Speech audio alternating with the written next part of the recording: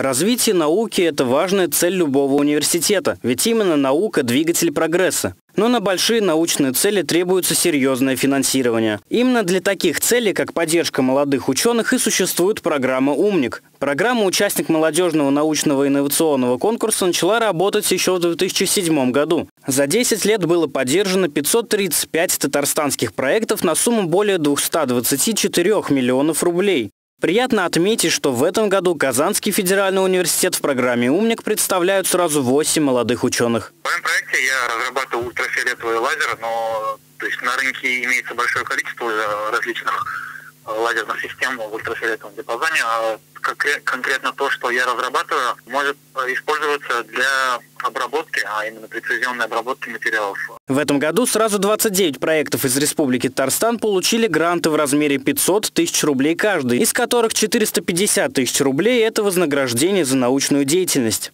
Кроме этого, 26 из 29 проектов являются победителями республиканского конкурса инвестиционно-венчурного фонда Республики Татарстан. А это еще 220 тысяч рублей на каждый проект.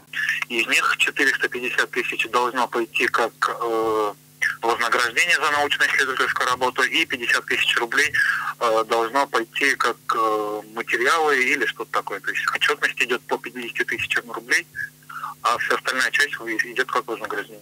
На реализацию своих идей у молодых ученых есть всего два года. Таково условие получения гранта. Согласитесь, что с таким финансированием можно сделать действительно многое. Олег Кашин, Univer News.